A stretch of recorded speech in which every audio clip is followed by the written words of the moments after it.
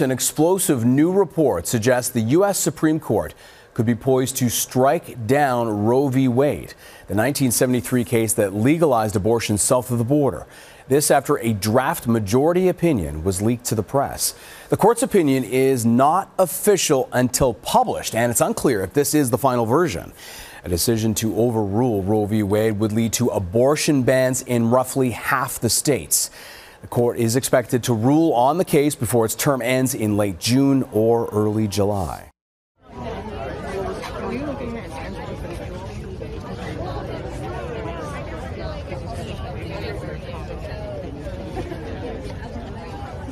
Hey!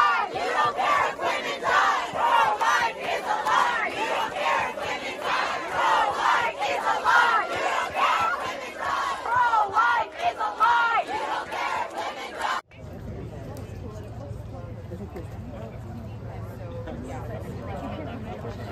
that's what we're doing.